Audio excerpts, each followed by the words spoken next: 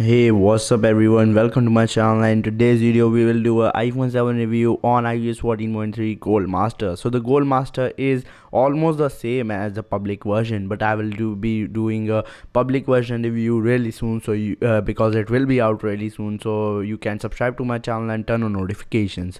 So let's jump in today's video. So talking about bugs the first thing that I'm suffering with on this device is bugs. For example here you can see I have not applied clear spaces or anything. This is just a bug if i'll do like this. Yeah yeah here you can see there was a widget and uh, uh, I'm I'm seriously really confused. Why is these bugs are happening on iPhone 7, especially uh, in terms of widgets and scrolling through my app library. Here, many people were getting some issues and uh, stutters, but for some reason, I'm not getting that. I think it's a good thing, uh, but uh, almost 90% of my audience is just sending me messages onto my Twitter. You can follow me on my Twitter, by the way. Here is my Twitter handle you can follow me on twitter. And uh, many people on twitter were messaging me that i am getting some stutters in app library. I'm getting a lot of bugs. And yeah i seriously don't know why iphone 7 is suffering with a lot of bugs. And i didn't expect it the same issues to occur on the gold master because as i said gold master is almost the same as the public version. So i am seriously really confused but maybe the public version will solve this issue. We seriously don't know at this point of time. But uh, yeah let's let's see. Now first of all jumping into settings then if i'll go in general and then here you can see here is ios 14.3 and here is the build number. The build number is 18 C65 and this is the build number of iOS 14.3 Gold Master.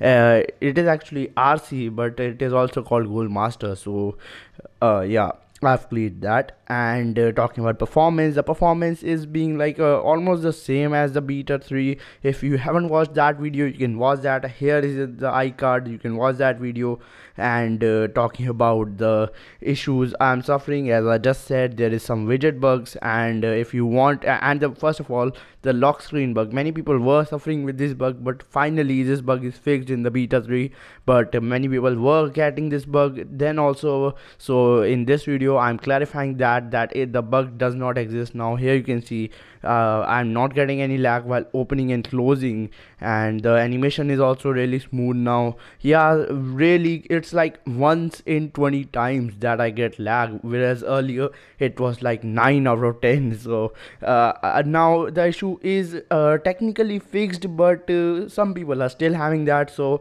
uh, I have cleared that that it is just a normal issue. Don't worry it will be fixed. Really soon. Apple is working on that because I've talked to Apple support app and if you have any queries you can talk to me or on the Apple support app by downloading the app through the app store. Now let's talk about the battery life. If I'll 3d touch here and go into battery first of all here you can see i have 100 percent i mean 100 percentage of my battery health so i i am the one of the guys who whose phone is at 100 uh, percent of battery health. But then also here you can see the dips there. The battery life is actually not at all good. The last time i charged was 39 minutes ago 43 percent and it's 31% right now. And I didn't use my phone much. I used it for like 10-15 minutes. It was like 1 minute per percentage.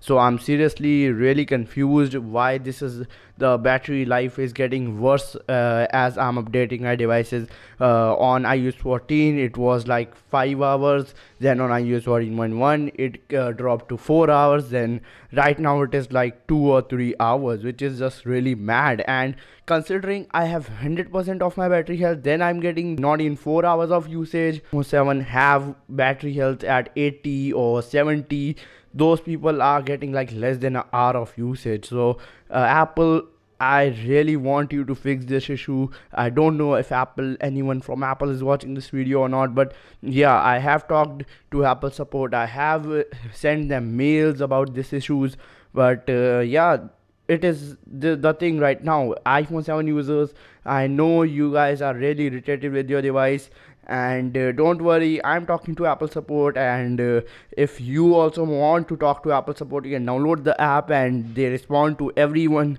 So thanks for watching this video. I will be getting back to you guys because i know iphone 7 users are really pissed off. So peace out. I'll meet you all in the very next episode